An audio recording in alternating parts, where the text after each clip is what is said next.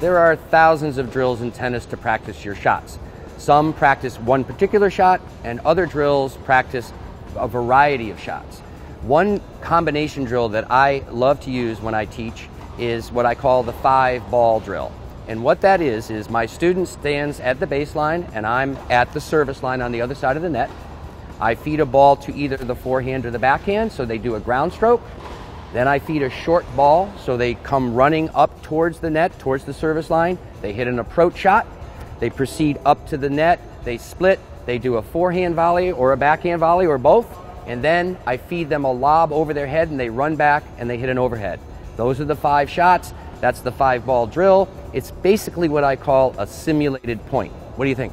I like the drill very much, and what I like to do as I'd call it a six ball drill with exactly the same shots that Joe is suggesting. But after that overhead, we want to reinforce that player to come back in one more time and knock off a final volley. I think that's a great point. And there's the point.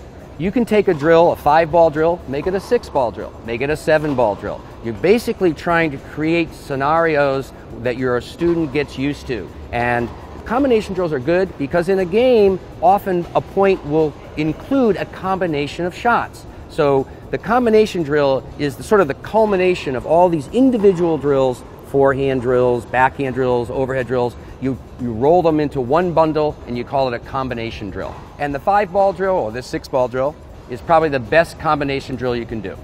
The closest thing to a real point.